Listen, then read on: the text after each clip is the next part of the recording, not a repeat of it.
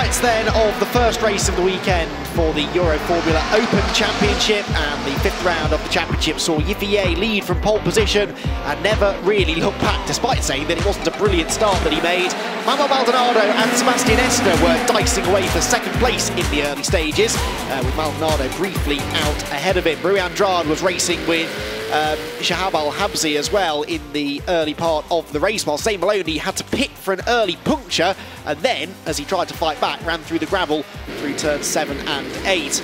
Nicholas Cruton was making up for a terrible start where he stalled on the line and made this incredible pass round the outside of Shahab Al Habsi. Rui Andrade would later be able to get past the Omani driver as well, whilst many drivers were falling foul of track limits warnings through the final sector. Alexandre Bardinon on there with a run wide as well.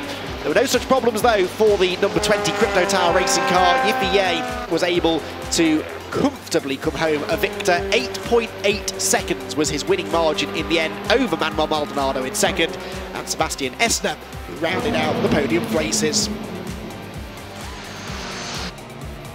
So great victory then for Yifei to extend his points advantage and he is now looking almost unassailable already at the top of the championship table but still a long way to go.